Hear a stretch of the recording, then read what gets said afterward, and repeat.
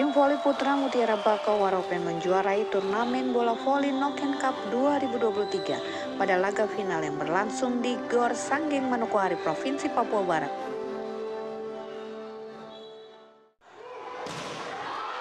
Tim Mutiara Bakau menang 3 set atas tim Amyar dengan skor 25-19, 25-23, dan 25-19.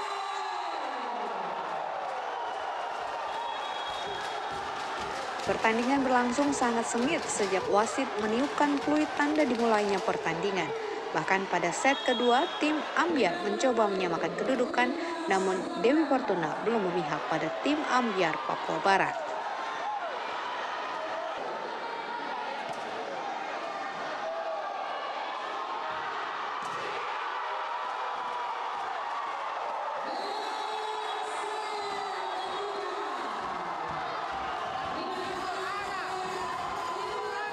Pertandingan yang berlangsung selama 1 jam 4 menit itu akhirnya dimenangkan tim Mutiara Bakawa Ropen dengan poin 3-0.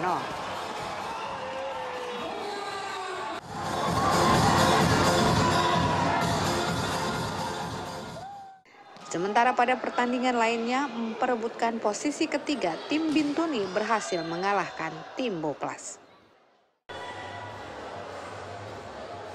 Atas hasil pertandingan tersebut, tim Mutiara Bakawaropen menjadi juara satu, juara dua tim Ambiar Papua Barat, juara tiga tim Bintuni, dan harapan satu tim Boplas. Penjabat Gubernur Papua Barat Paulus Waterpau diwakili asisten dua setda Provinsi Papua Barat Melkias Werinusa mengapresiasi panitia penyelenggara yang telah bekerja keras memastikan kelancaran acara.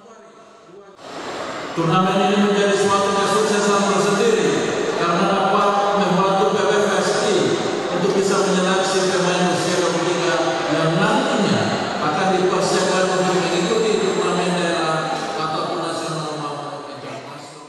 Ia juga mengapresiasi setiap peserta yang telah memberikan pertunjukan yang terbaik di lapangan. Saya ingin mengucapkan selamat kepada semua pimpinan dan juga mengapresiasi setiap peserta yang telah memberikan yang terbaik di lapangan. Kemenangan adalah hasil dari kerja keras dan dedikasi yang telah terjadi. Tetapi ingatlah dalam olahraga yang terpenting adalah menghargai proses, belajar dari kekalahan dan tumbuh menjadi pribadi yang lebih baik. Dirinya berpesan, semangat kompetisi yang dirasakan selama turnamen ini terus membara dan diharapkan kegiatan berikutnya akan membawa kesuksesan yang lebih besar lagi. Dari Manokwari, Hengki Kadiwaru melaporkan untuk Top B News.